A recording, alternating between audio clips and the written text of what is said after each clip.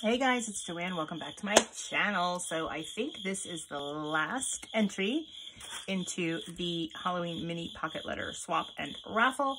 Um, this I received yesterday on the, what was yesterday's date? The 4th, October 4th. Um, so yeah, I think that's it. So we're just gonna take a look. This is from uh, Patricia Johnson. Let's see what Patricia sent. We're going to open it carefully. Ooh, I like the colors already. So bright and orangey and cheerful.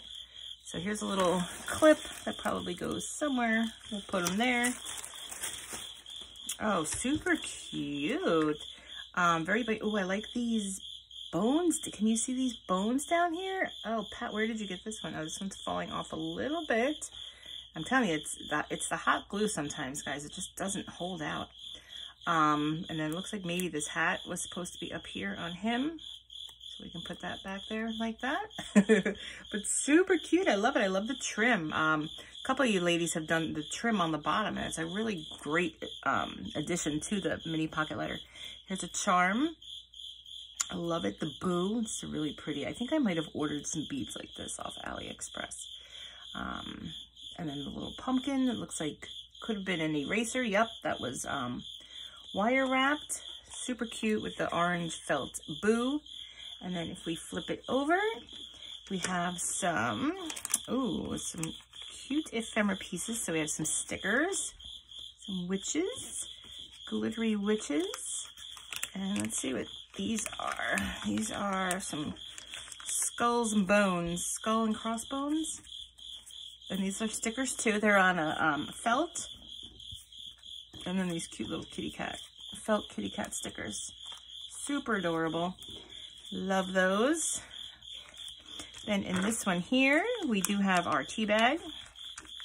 And let's see what kind of tea Pat has sent us. Is it stuck? Something's stuck. Let's see. This comes out. Okay. And then some more stickers.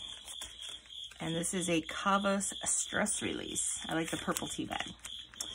We'll put this back in here. I'll put everything back. Don't worry, guys. Don't worry. Okay, and then in our last pocket here, looks like some mini envelopes and some spiders possibly under there.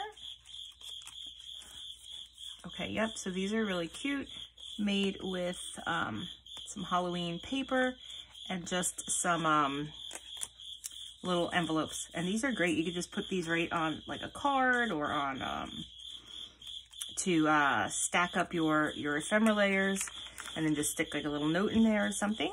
And then here are some of glitter spiders and these are foam as well, but they're pretty nice, um, durable foam sticker. So this is from Patricia. And again, I will put those back in. And if you guys just want to take another look and I will be wrapping this up now, um, starting to get together all the entries to send out with the raffle tickets.